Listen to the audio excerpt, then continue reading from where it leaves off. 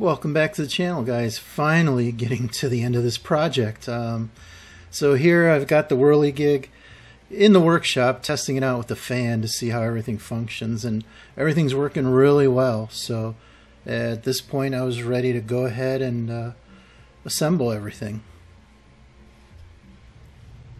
So I made a tower similar to my larger windmill, uh, actually half scale, and everything mounted and looks really good.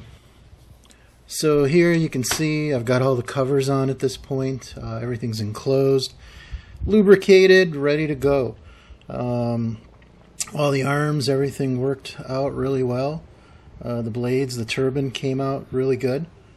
And here's a view from the other side. You can see the now he's got a workpiece in the vise that he's drilling and you know as his hand turns the spindle goes up and down.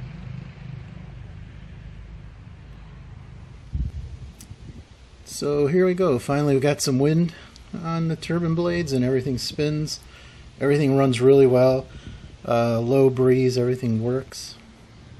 And it also pivots into the wind you know whatever direction the wind's coming from. So let's see here. Yep we've got a little bit more wind here. You can see everything's functioning. The one arm's turning the crank. The other arm, he's working the spindle and drilling the holes.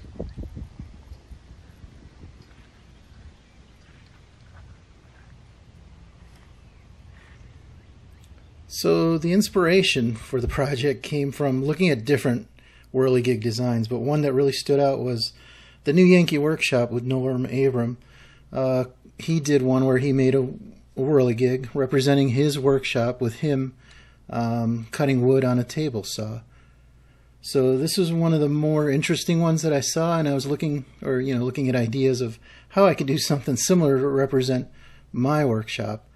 So I went to work and I did a lot of CAD modeling, looked at different ideas, and a lot of different concepts, a lot of different iterations to make everything work, to get the arm movements and everything for uh, you know what you see here is a person running a Bridgeport, uh, drilling some holes and turning the crank on the table.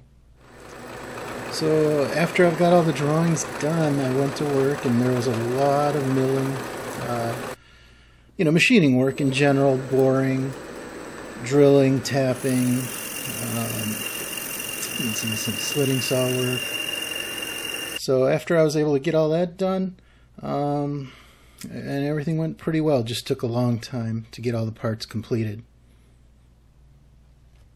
So I had all the parts completed here, and obviously I purchased the bearings and gears and some of the other uh, parts that could be purchased, and uh, went ahead with the assembly. So if you're interested, there are other videos on the channel here that show some of the detail here of how I assembled it and made some of these parts.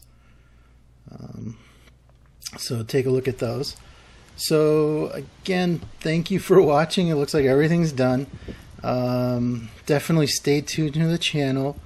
Uh, subscribe because there'll be a lot more uh, interesting projects coming up. So if you're interested in these kinds of things, definitely stay tuned to the channel and subscribe. And I hope to see you guys soon.